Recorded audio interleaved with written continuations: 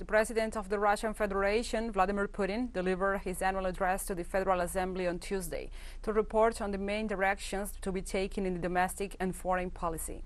The Russian president assessed the special military operation in Ukraine and the international situation before deputies, senators, military commanders, religious leaders, and other guests.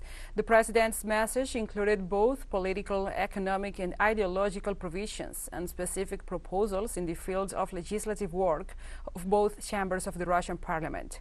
During his speech, Putin stressed that his government did everything that was possible to peacefully resolve the Ukrainian crisis, but behind its back, a completely different scenario was being prepared. He also stated that the special military operation launched a year ago is aimed at protecting the population of our historic lands.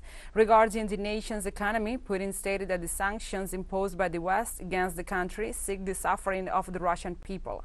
However, he stressed that his government was implemented measures to avoid this objective.